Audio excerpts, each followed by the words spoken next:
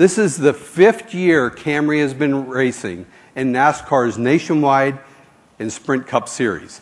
And in that short period of time, our teams have visited Victory Lane 100 times, including just this past weekend in Michigan, and captured three manufacturer titles and one driver's championship.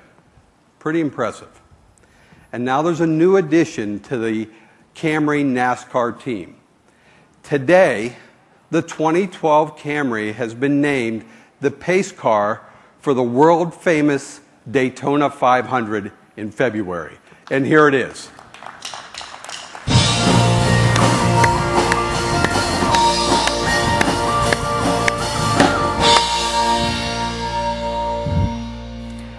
And look who's driving it. Denny Hamlin, driver, driver of the number 11 FedEx Joe Gibbs Camry. So, Denny, you've been driving Camrys now for almost five years, both on the road and the street. What do you think of the new Camry?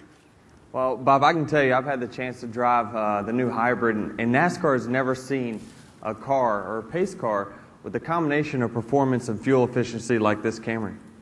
Terrific. Uh, but you know, I tell you, the, the Camry that I really like is the SE. Uh, it's the Camry with the attitude.